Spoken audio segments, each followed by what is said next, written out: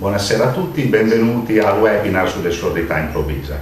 Io sono il dottor Santarella, un medico del centro iperbarico di Ravenna e eh, svolgerò questo webinar con una prima parte dove ci sarà la mia relazione e una seconda parte aperta alle vostre domande.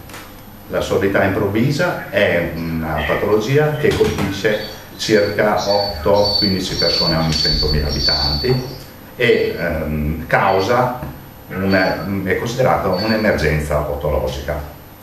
Il, nel 2014 presso il centro iperbarico di Ravenna eh, sono, stati, eh, sono giunti a noi, inviati da medici otorini, eh, circa 130 pazienti affetti da questa eh, patologia e eh, sono stati trattati con terapia iperbarica. Di questi 82, il 63%, sono stati dimessi con un quadro migliorato. Il 30, 30 invece di questi pazienti sono stati dimessi con stato stazionario. Eh, abbiamo qui un esempio di una donna trattata presso il nostro centro, donna di 42 anni che aveva un'anamnesi negativa, che in data 10-9-2015 accusa una grave perdita di udito a sinistra, come possiamo vedere dall'audiogramma a sinistra, con una perdita pantonale dell'orecchio sinistro e eh, successivamente, il giorno successivo, inizia l'OTA terapia iperbarica per un totale di 26 sedute che termina in data 11 ed esegue in data 12 ottobre un, un nuovo audiometrico dove si nota un grande miglioramento eh, dell'orecchio colpito, soprattutto nelle frequenze da 125 ai 2000 Hz, che sono proprio quelle frequenze dove la terapia iperbarica dà il meglio di sé. Per quanto riguarda le frequenze invece più alte, il eh, recupero è parziale. Eh, la, che cos'è l'ipocosia improvvisa? È definita come una perdita uditiva non inferiore a 30 decibel in almeno tre frequenze audiometriche contigue.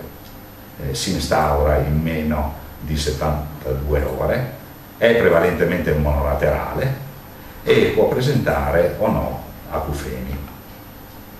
L'estiologia è molto complessa in quanto solo il 10-15% dei pazienti affetti di questa patologia ha una causa identificabile.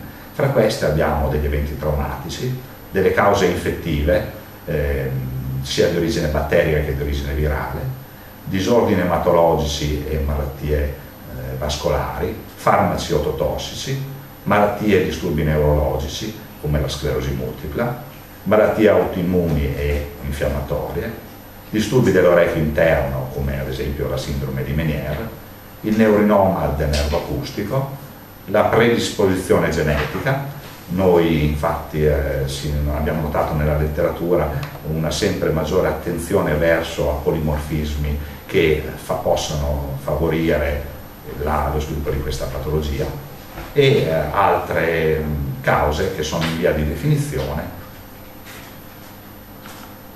Le terapie, eh, le terapie riguardano eh, l'uso di cortisonici, sia orali che endovenosi che intratimpanici, la terapia ad ossigeno iperbarico e poi un insieme di miscellanea con reologici, vitamine, farmaci antivirali, elettrostimolazione, terapie sperimentali. Cosa dice la letteratura? Dibattito in corso sull'uso dei cortisonici. Una meta-analisi recentissima non supporta l'uso eh, degli steroidi rispetto al placebo. Sono da considerare eh, come trattamento di salvataggio. Uso in contraddittorio eh, viene dichiarato da un'altra eh, meta-analisi della Cochrane mentre un eh, comunque recente articolo dice che gli steroidi intatimpanici hanno un'equivalenza terapeutica con quelli orali e la terapia combinata è superiore ai due farmaci. Una meta-analisi sempre del 2015 afferma che i corticosteroidi intatimpanici potrebbero avere un, rapporto, un apporto efficace. Un ultimo studio che riportiamo recentissimo afferma che gli steroidi intratimpanici associati all'OTI danno risultati migliori rispetto agli steroidi V associati alla terapia ossigeno iperbarico. Però questi risultati clinici richiedono un'ulteriore conferma. Ci sono altre terapie aduvanti? Eh, esattamente sì, eh, è stato provato il fattore eh, insulina growth factor numero 1, eh, il cui uso topico ha dato dei buoni risultati. Non c'è ancora una prova certa per sostenere l'uso di farmaci antivirali e vasodilatatori, mentre buoni risultati ha dato l'uso di vitamina A insieme alla C, alla E e al selenio, insieme a terapie convenzionali, quando il deficit era inferiore a 46 decibel. Eh, anche la FREMS, che è un tipo di elettrostimolazione, è in studio presso il nostro centro e ci aspettiamo dei buoni risultati. La terapia iperbarica eh, interviene a livello delle cellule endoteliali, eh, più particolarmente nei loro mitocondri, dove migliora il potenziale energetico della cellula e attraverso lo sviluppo di monossido d'azoto ne migliora la capacità eh, antinfiammatoria e ha un'azione antiedemigena sulla idrope dell'endolinfa. Ulteriormente ha un'attivazione sui fattori che innescono la mobilitazione delle cellule staminali. Le nuove linee guida SIMSI appena uscite affermano che eh, la, la terapia iperbarica deve essere iniziata tempestivamente, entro due settimane dall'esordio, se possibile, comunque in un tempo non superiore ai 30 giorni deve essere attuata in presenza di perdite uditive gravi e il miglioramento eh, infatti è osservato essere eh, maggiore nei pazienti con perdite anche fino a maggiori uguali a 80 decibel.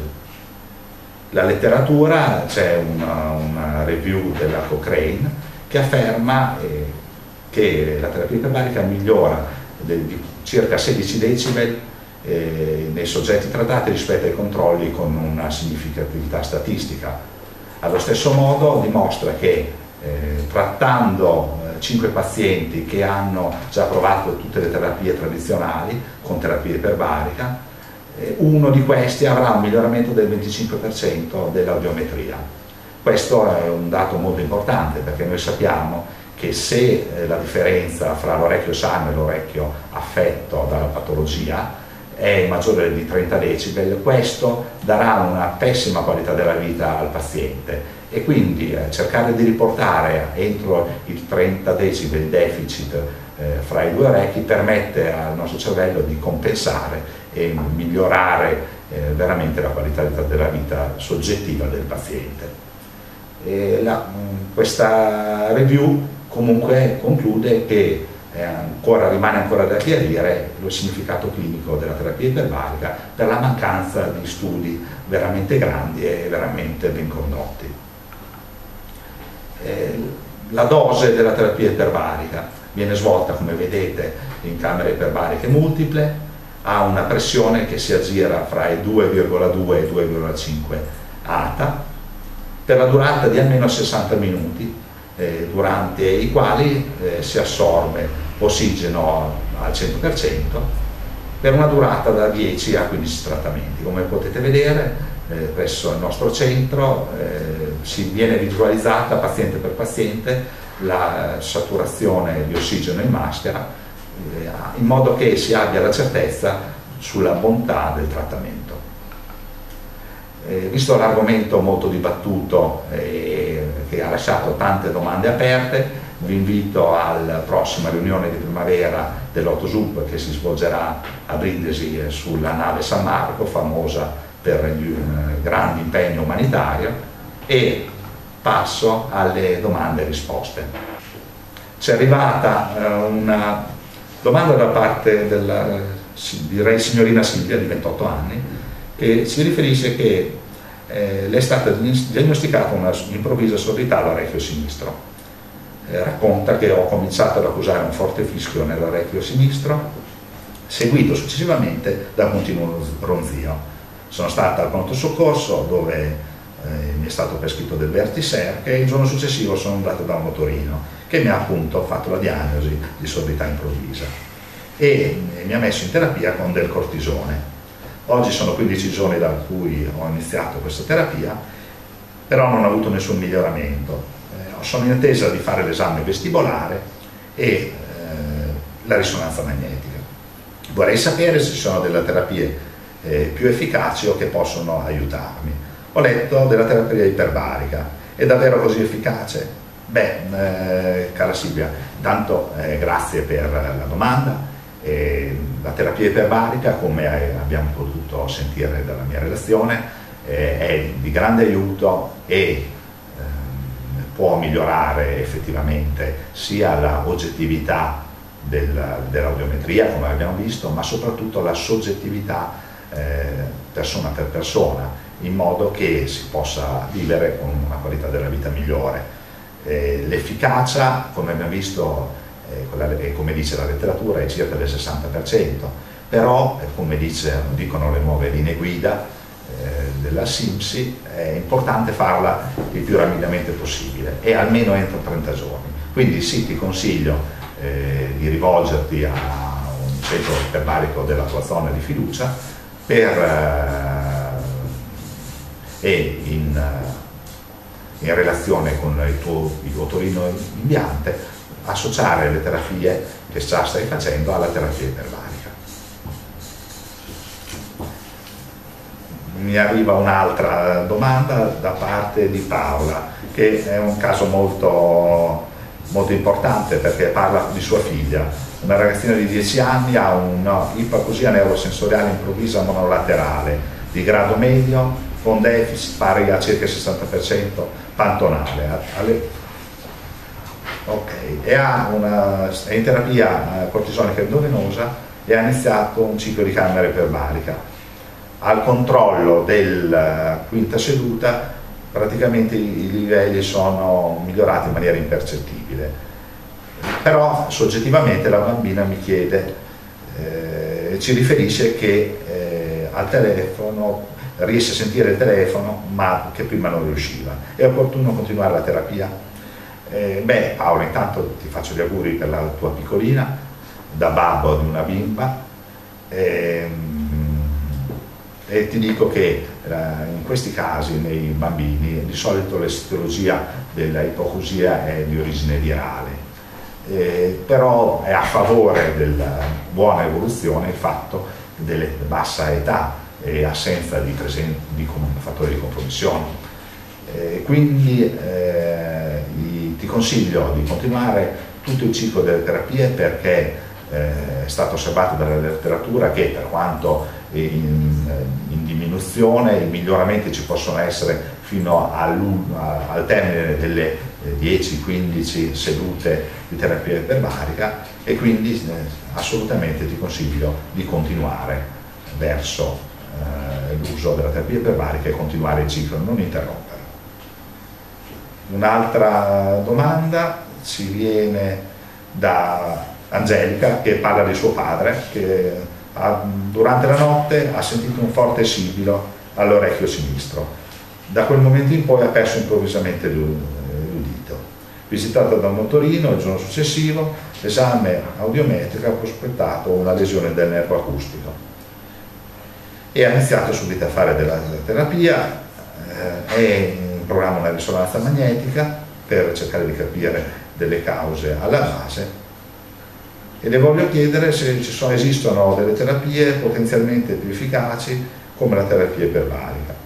Bene, eh, cara Angelica, eh, tuo babbo immagino che sia una persona eh, di una certa età e eh, questo tipo di patologia, come dico, ha una fascia di età dalla media ai giovani. Eh, il fatto che non abbia avuto remissione con la terapia eh, tradizionale non vuol dire che associando terapia iperbarica si possa avere un miglioramento. È bene comunque eh, affidarsi al, al medici otorino per quanto riguarda il, eh, diciamo una diagnosi di, eh, nella ricerca delle cause che possono avere portato a questa patologia e allo stesso tempo valutare attraverso il medico le normali la normale diagnostica svolta dal dottorino, di svolgere una, una visita da un medico iperbarico e per iniziare il più rapidamente possibile, rimaniamo, non dimentichiamo, l'efficacia della terapia iperbarica si, eh, si manifesta entro i 30 giorni, difficilmente si avranno dei risultati a un tempo più lungo. Bisogna assolutamente ricordare che eh, nuovi studi eh, hanno messo in evidenza eh, che ci possono essere dei fattori di compromissione che possono causare eh, questa patologia come l'ipertensione, come l'ipercolesterolemia, quindi è bene eh, considerare il paziente a 360 gradi.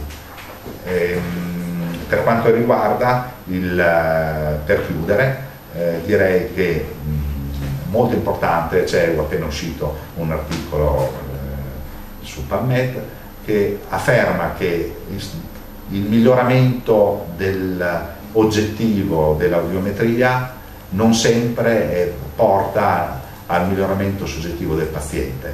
È una patologia, è un'emergenza, eh, la qualità della vita del paziente affetto da ipocosia eh, può essere veramente eh, difficile, quindi rimando a tutte le persone coinvolte nel, nel management di questi pazienti di eh, seguire le nuove linee guida della SIMSI per un maggior successo. Bene, vi ringrazio della partecipazione, arrivederci.